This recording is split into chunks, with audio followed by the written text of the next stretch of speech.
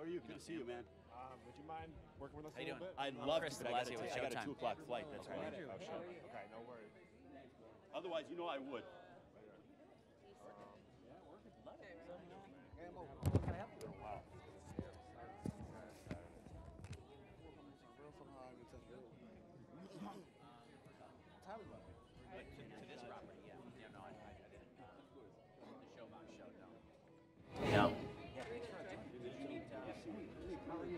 Andrew.